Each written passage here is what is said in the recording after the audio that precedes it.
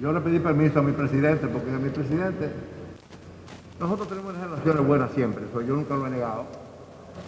Y yo soy de los dominicanos que cree que eh, este momento y otros momentos son para buscar armonía, tratar los problemas nacionales.